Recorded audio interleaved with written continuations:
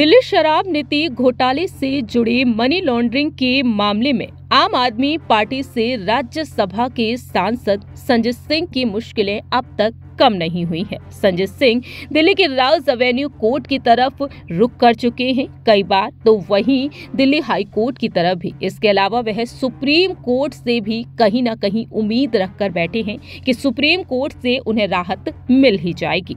लेकिन देखा जा रहा है कि सुप्रीम कोर्ट में भी ये मामला चल रहा है। जानकारी दे दें कि बीते पाँच मार्च, मंगलवार को सुप्रीम कोर्ट में इस मामले पर सुनवाई होनी थी, लेकिन सुप्रीम कोर्ट इस मामले में सुनवाई नहीं कर सका है। समय की कमी के कारण न्यायमूर्ति संजीव खन्ना की अध्यक्षता वाली पीठ ने संजय सिंह के द्वारा जो उनकी जमानत याचिका दायर की गई थी, उस जमानत याचिका को खारिज करने के दिल्ली उच्च न्यायालय के सात फरवरी के फैसले के खिलाफ दायर विशेष अनुमति याचिका को स्थगित कर दिया है। आपको जानकारी दे दें कि इस मामले को लेकर ये जानकारी सामने आई है कि कंप्यूटरकृत मामले की स्थिति के अनुसार याचिका बोर्ड पर बनी रहेगी और इसे 5 अप्रैल को अस्थायी रूप से सूचीबद्ध किया जा सकता है।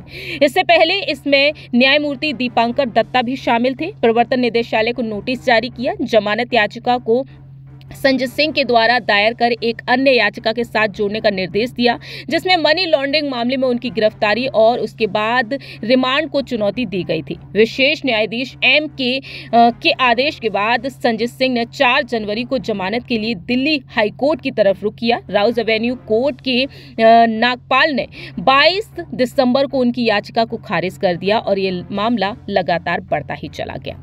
लेकिन देखा जा रहा है कि संजय सिंह को अभी इस मामले में राहत राहत नहीं मिली है। अब देखना यही होगा कि आखिरकार इस मामले में अब आने वाले समय में संजय सिंह को राहत कब मिलेगी? फ़िलहाल देखा जाए तो याचिका को स्थगित कर दिया गया है। जानकारी दे दें कि दिल्ली के राउज एवेन्यू कोर्ट ने इस मामले पर संजय सिंह के साथ साथ मनीष सिसोदिया की न्यायिक हिरासत को सात मार्च तक बढ़ा दिया था।